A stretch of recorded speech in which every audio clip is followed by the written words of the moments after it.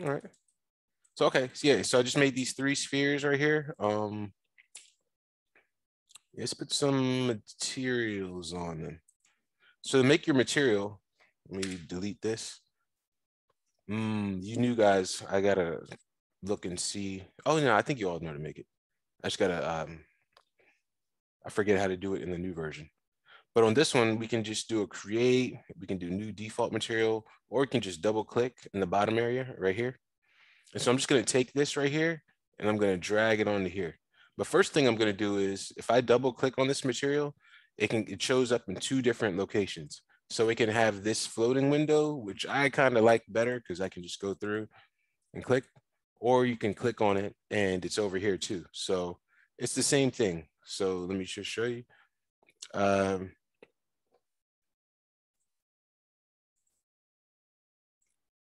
name, well, oh yeah, this right here. So the name material, this right here, and this is layer, don't worry about that. So I'm just gonna name it ground for this one. And then I will, um, yeah, if you look at color, we click on color, it's right here. And so this right here controls the color of the object. But um, let's leave the grid. Well, you know, let's make the grid like a little bit brownish, let's say. So I'll click right here, or a little tan, I should say. Cool. And let's do this with one of these spheres. So I'll click on this and I'll just name it, uh, I don't know, shiny. And I'll take this, and there's two ways to apply it. I can take this and drag it onto this sphere, Control Z to go backwards, or press the arrow, but I like Control Z. Or I can select the object. So I'll go to this, uh, this um, model mode, click on it. So you see it's highlighted and then I can go to the material and I can right click and I can just go to apply and it'll apply it there. So if I double click, our material palette comes up. Like I said, basic is um this right here, this checkbox. So it's saying color, luminance, and we'll go through all of these. But what's checked here is checked there, as you can see. It's checked here, it's checked there. So the first one we'll go to is color. And for this one, let's make it a, I don't know, reddish or purplish, pinkish. So this right here controls the color. The brightness, if you take this down, it just adds black to whatever this color is that you've chosen. So just so you know that. Um, you know what hue, saturation, and value means. And all these up here, these are just different ways on uh, choosing colors. So we have this color wheel kind of looking thing over here, which is kind of cool. Um, and then it gives like the complementary color. I think it says it. Yeah, complementary. Ooh, got that off a break. It's from memory. All right. And then, you know, it shows whatever the color is the opposite or the colors that match correctly. I like this purple color. Um, and then we have just basically it's just different uh, ways to choose. This like Photoshop sort of. Um, this one never really chosen. RGB, hue saturation value, Kelvin scale. So this is temperature. Um, so it's going from cool to warm. and some other ones that I'll be honest, I don't really use. What's this Pantone colors, maybe? I don't know. Like I said, I like my uh my purple. All right, and we have right here uh texture. So if I wanted to put a um let's say a picture in here or anything like that, I can just go over here and I can put it in. Let's see if I have a JPEG somewhere.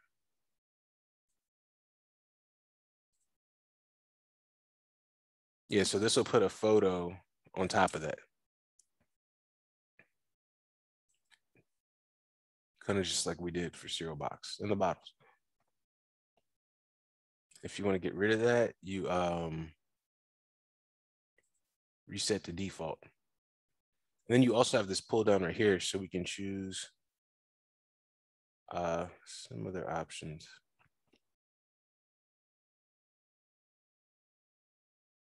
Oh, and this is like a preset or whatever. So Galaxy. And you can just go through these and uh, kind of play with these to see if you can get something you like. So there's some also default material. So you can cheat and not, you know, actually use your own photo. So I'll right click, reset to default. All right. Rest of this, don't really worry about so much, but you can go through play with this fall off. So it's just a light fall off. Meaning like you see how the light will wrap around the object or not wrap around the object. Right click, reset the default. Ooh. Fusion, I don't really mess with that one too much. Luminance is uh, like a brightness. It makes it into like a light. You can't really see it too much now because uh, there's no lights in the scene. But when there's lights in the scene and we're using our render, then you'll be able to see like luminance. But it basically gives it a glow. Turn that off. Transparency makes glass objects, as you can see right here. And um, there's a refraction which actually is uh, determined by this. So we can put glass, diamond, uh, milk. So it's just kind of showing you the uh, refraction values, and that's how like the light passes through the object. So depending on what we're making, you can uh, do this manually or do it here. There's actually a scale online that says uh, it's called IOR, index of refraction. And if you type in a material or, or like, let's say um, water, IOR, it'll go in and it'll give you a um, specific number for this. And it's probably the same number that you look up online. So all the 3D programs have uh, index of refraction. That's the way the light goes in and bounces off, bounces around the object internal reflection reflections. You can see what it's doing, reflecting the light internally and exit. So it's showing how the light's like kind of passing through. Fresnel re reflectivity, let's see what that's doing. A lot of these uh, settings, I kind of go through and um, just move the sliders and see what they do. Because um, yeah, it's kind of the best way to learn. So even if you don't really understand the technical like functions of it, just go through, move a slider, control Z, you see what it's doing. So you see when I uh, move this, the transparency is uh, going away.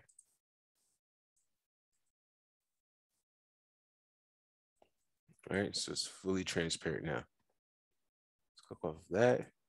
Then we have reflectance. So this is how um, the light reflects off object. So check this out.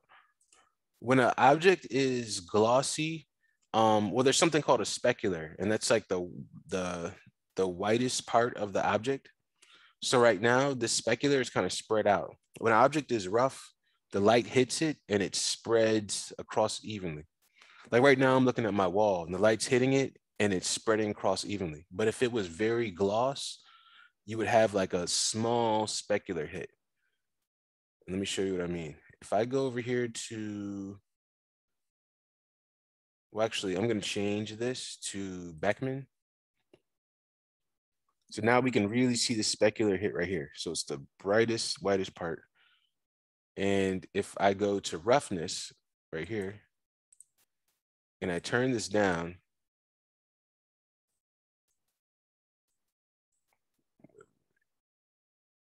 yeah, turn it down. We're seeing like that specular. It's uh, it's more defined. It's kind of like there's a fake light in Cinema 4D, and it's um, and it's showing us the reflection. The more of the reflection you'll see, the the smoother the object is. Here's the specular strength, right? Oh, and you can see in the viewport too. I was steady looking at this. So it's basically, think about it like car paint to, well, yeah, just glassy car paint to um matte car paint. You don't see too many matte car paints, at least I don't. Sometimes people do it. So we can make it look shiny. And that's what we're gonna do for this one.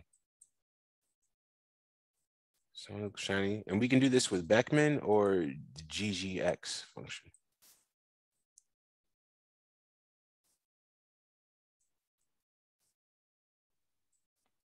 Let's just keep it on this one because we're using it first. So remember, my goal is to make this one uh, shiny. So I can make it reflective, like um, mirror-like.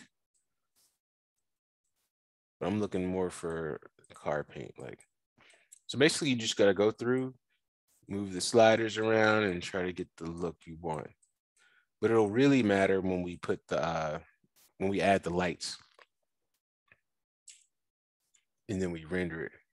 So we'll be coming up next. Okay.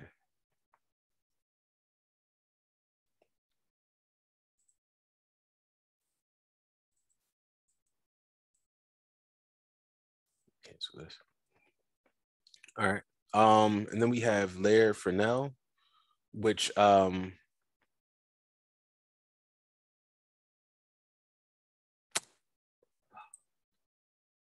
sorry, I kind of slipped my mind. I forget. Uh, one of these is for metals. Well, I guess we just have to go through and see. I kind of um. Sorry, it's been a long time. I'm um trying to remember what these stand for. Um, actually, just let me go look real quick. Conductor.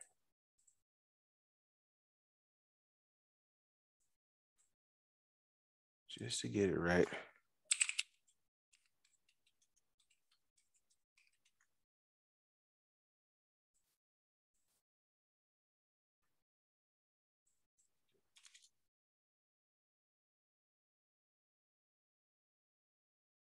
Because one of them is supposed to be, I think, for metals specifically,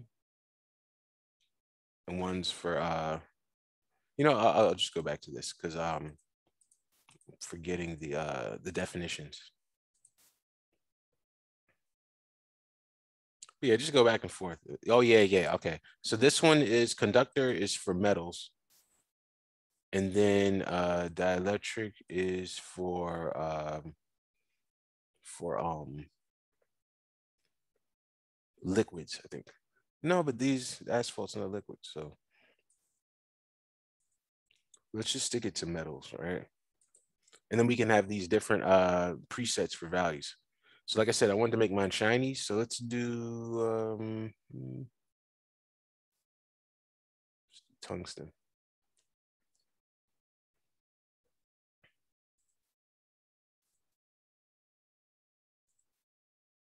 Or silver. Okay, cool. So this is going to be my shiny one. I'm just going to keep it like this. And now I'll make this one um, a kind of like a metal look. So go over here, just type in metal. Just let me try steel.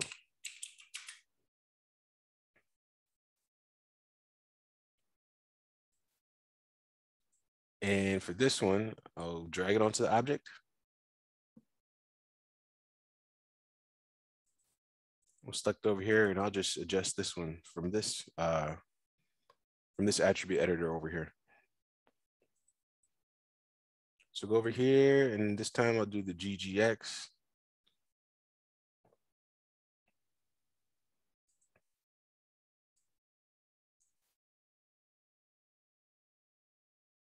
Let's make this metal like, so I'll give it like a gray kind of color.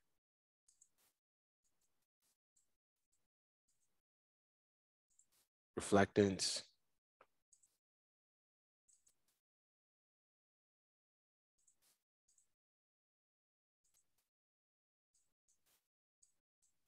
This reflection strength. So as y'all can see, it's starting to look metal like. Higher, turn it up with the lower roughness, it turns into a mirror.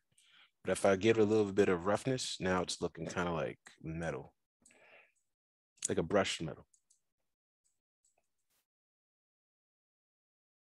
And then specular strength, we can adjust that. So you can see this getting smaller or more blown out.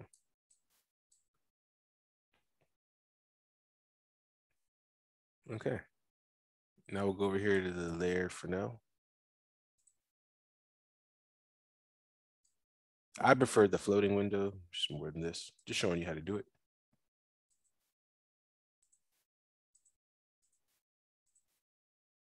Conductor. Now let's do like aluminum. Okay, nice. Now we have our steel ball. Now let's just make this one over here matte, which would be pretty much close to the default. Oh, look, it's called matte. Let's call it MA. Oh, thought that would add it on. So let's do M-A-T-T-E.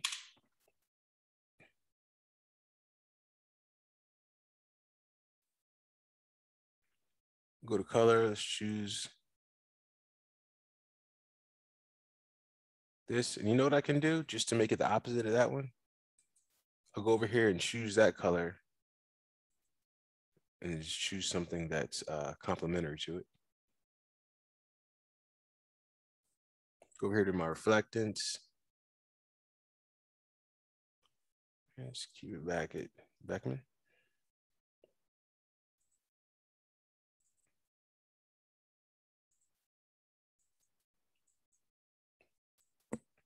Let's take the specular strength down want this to be like paint, like wall paint. Just nice and matte, no harsh reflections or anything.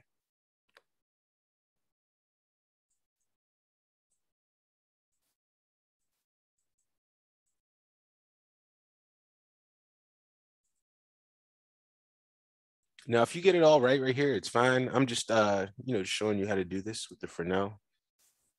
But if you get the look that you want, that's all that really matters with this. So the, whatever way you hit the the look, get the look correct the first way, go with that. So if it's looking okay, then we'll just deal with that. But it'll really come to life when we uh, do the lights in the next lesson. So I'm just moving this.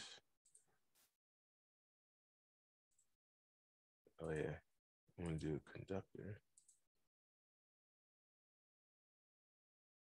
Eh, now that's gonna make it look more metal-like. So I'll just leave that alone. Just press none, and I'll just work it with these settings right here.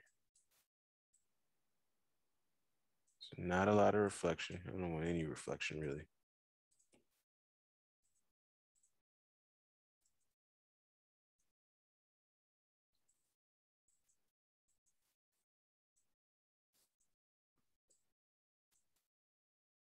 Okay, nice. So take this, remember, we'll just apply it, right click, apply, cool.